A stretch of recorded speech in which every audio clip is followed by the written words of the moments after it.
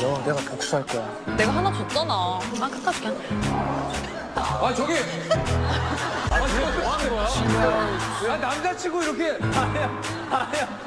나 아, 남친 이렇게. 아니 와 잠깐 자기 스타일이네. 아 잠깐만 일로 와봐. 왜요 왜요 아 나 이거 못 참아. 왜요? 왜왜 아니 세금이라는 거는 정확하게 납부가 돼야지 남친이라고 깎아주면 돼요?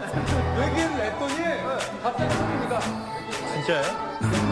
어? 미 씨가 너무 놀라셨어. 왜요? 남자친구. 남자친구 아니야. 아니야